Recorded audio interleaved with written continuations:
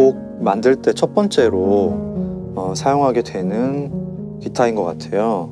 어, 마틴 HD28이라는 모델의 기타인데 이 기타도 오래 오랫동안 이제 어, 연주를 하셨던 분에게서 제가 중고로 구매를 했고 그래서 소리가 잘 익어 있어요.